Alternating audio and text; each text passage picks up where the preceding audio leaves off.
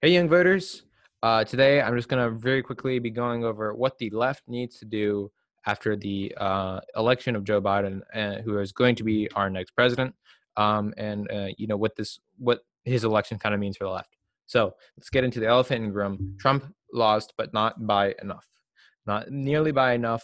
We needed to make sure that Trump lost in a resounding way in which the um, the loss could be heard in the uh, ears of every um, GOP member and uh, Republican voter. Uh, we need to strongly dissuade and negate Trumpism uh, in order to prevent us from accelerating faster and faster towards fascism. Um, but we didn't. Um, we are here. We are now slowly slowing down, deaccelerating towards um, what we were previously rushing towards um, uh, you know the, a, a, new fascist order being created in the next you know 15 20 years. Um, now we are now slowly backing away maybe slowing down um, to a standstill with the election of joe biden. Um, but again it it could it starts accelerating at any point. We're definitely not moving backwards. Um, we're not yeah we're just not moving backwards. Um, and you know that is because Joe Biden is Joe Biden. We all knew that um, he was not a progressive guy. He was he was just he was a he was a um, he's the one of the far right on in the uh, uh, Democratic Party. He's basically a moderate Republican, um, and you know we knew that going in. Uh, we still voted for him. We did our best, and we did we did very well. Bernie, in fact, did more rallies for Biden than Obama did. In fact, um, so progressives did play their role, and they should not be um, talked down to um, for that reason. Uh, we uh, overwhelming amount of uh, Bernie voters also voted Biden. Uh, so that is not the problem. But the Democratic Party has to get its messaging straight. Um, in Florida, um, we lost a lot of the minority vote nationwide, uh, particularly in Florida. Um, we need to work on Texas, making that a um, what's it called, uh, battleground state. What's what's the uh, what's the term? Oh my god, I'm totally blanking. Um, anyways, we need to make that a flippable state, um, battleground state. What? What? God damn it, I don't know what it's called. Um, you know what I mean. Uh, but yeah, I mean the the party messaging has to go left. It has to. Uh, there's just nothing to say about it. We're not going to win the Republican base, and we didn't. We're not going to win the Republican base by pretending to be more moderate Republicans because then they would just vote Republicans. There's nothing. There's no advantage to uh, moving further right to appease Republicans. We know that 96%, and I repeat, 96% of Republicans voted Trump. So the myth of the um, never Trump Republican voter is does not exist even um, you know however many people anecdotally you might know that uh, were republican but um, voted biden. It doesn't matter. 96% of republicans voted trump. Uh, the lincoln project was an absolute failure. Who would have thought? Uh, we did. Uh, but you know all, all, this further and further right trying to go further right um, did not work. Uh, on the same day that Florida flipped to uh, Trump, they passed a $15 minimum wage and they uh, i believe legalize or yeah did they legalize yeah decriminalize weed.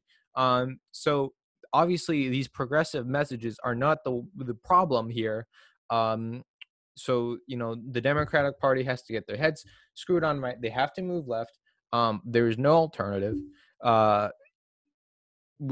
other you know we can't just be a discount republican party because then we could just then voters would just vote for the republican party. There's no um there is really no that's not the solution uh and we can't shift the party so far right that w- then our party does not represent the ideals we originally stood for then there's no point in having the party at all. Uh, we have to move left left positions are more popular. We know this based off of polls national surveys. We just have to get our messaging right um, and we have to you know we just have to move left um what so what can can we do um you and me do as the left so we need to continue supporting progressives like bernie aoc whatever whatever um we need to uh, talking, keep talking politically uh, amongst people our age, so that when we do come time to vote, people are primed to vote Democrat or progressive, uh, hopefully progressive. Um, we need to uh, talk to our parents, talk to our friends, talk to our family. Um, we need to do that. I understand it's difficult for some people, so you don't, you don't, um, you know, if you're able to do so, um, talk to them about moving more progressive if they're Democrat or uh, towards Democrat if they're Republican, or maybe just not um, supporting of Trump we need to encourage the fracturing of the GOP that is currently happening as we speak.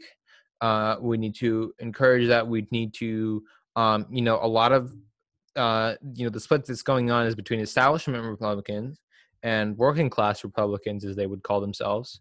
Um, some may say it's between uh, mask off racists and uh, racist, polite racists.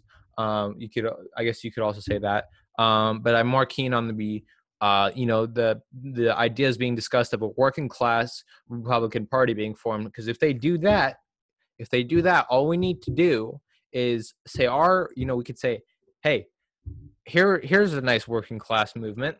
Uh, the historically uh, effective working class movement that is not seated in racism. Um, we can say, you know, hey, yeah, yeah, yeah, I agree with you. The the working class man, they've really gotten um, they've really gotten pushed aside in favor of uh, corporations and the rich. I mean, do you see this man? The uh, GOP they wouldn't they they only want to give you six hundred dollars, and then Trump said no, and then Democrats said sure two thousand we'll do we'll do two thousand, and then McConnell Mitch McConnell was like eh, eh I don't know I don't know man uh, uh I don't know um so we need to say hey working class, we're working class. We love you. We support you. Um, and we do it better. And we can totally win on that front because literally a working class Republican Party is basically the same messaging as our um, our leftist messaging, but you know more racist. Uh, I shouldn't say more racist. I should say racist, um, or at least rooted or um, has having some underlying racist tones um, instead of the uh, you know the rich people um, uh, causing your taxes to go up. It's the immigrants, um, for example, would be a, a common thing of the working class Republican Party. Um, and you know, we all know that uh, that that is either uh, a fascist movement or cannot exist. Um, and you know, obviously, if it's a fascist movement, we call it out as a fascist fascist movement. So we need to encourage the split of the GOP. Sorry for getting a little derailed on that. Um, we need to uh, okay, big thing.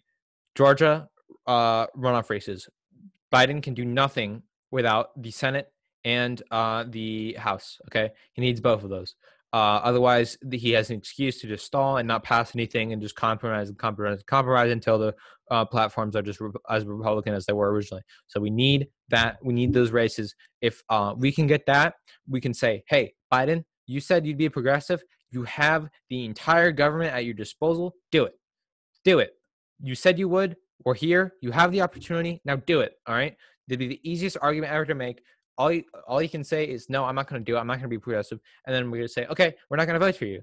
And, um, you know, that that's the best we can hope and, and then hope that um, they do it. But my point being is Biden needs both the House and the Senate. Um, otherwise, he's an excuse to do nothing. And um, and you know, obviously, he won't even be able to do nothing uh, because McConnell is is already promising to block everything Biden tries to do. Um, he's already said he's going to do it, I believe. So yeah, it's it's an almost certainty that uh, basically nothing uh, besides ex- executive orders can be passed. And then um, you know the GOP is going to say, "Oh, look at this Biden guy. The Democrats they didn't do anything in four years. They had the the House and the executive office, and they did nothing." Um, so vote for us instead, and they'll, you know, unfortunately, that messaging will probably work, and and then they'll be in power again. Um, so we cannot absolutely cannot let that happen. Um, we need to make sure because Trump, mark my words, will run again. If he's not dead or in prison, he will run again. He will win the primary, and then um, you know it remains to be seen what will happen from there against whoever the Democratic nominee is, possibly Joe Biden, but I doubt it. Um, he's he's a little too old for that.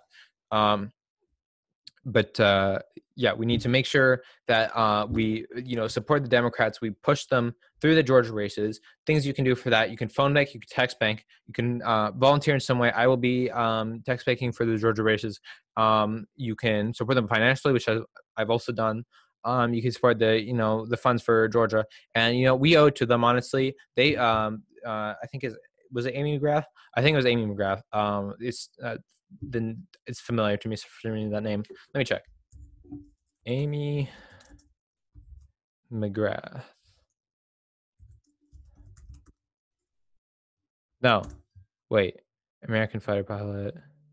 She's like a. She's someone.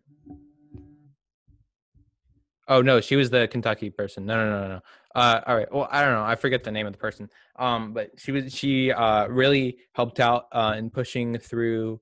Um, she was really she was really really really pushing. Uh, she, she was responsible for basically flipping Georgia. Um, so we really owe it to Georgia. Um, you know, they helped us win the uh, election with Biden. We really owe it to Georgia to um, you know uh, pay them back and help them win their their races. So that's some of the stuff the left can do, and that's some some of the goals that we have. Um, so I hope for this hopefully this video was entertaining, fun, and informative. Um, tell me if the microphone quality is good, um, if it should be closer or farther, like this, like this, whatever, um, in the comments, because you know, new microphone. Um, if I'm talking too loud or too too softly, whatever, uh, let me know, and uh, hopefully you enjoy this. Um, I think hopefully that was, that's all I had to say, um, and hopefully I'm not missing anything. Uh, and uh, yeah, uh, let me know if you like this sort of style video of my opinions on what we should be doing um, and stuff like that. So, all right, guys, uh, have a good night or good good whatever, good evening, good morning, good anything, um, and uh, happy holidays. All right, thank you for watching.